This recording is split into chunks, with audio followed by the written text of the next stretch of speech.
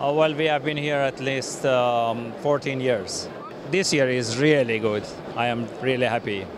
Yes, for sure, and we have a bigger stand in 2015.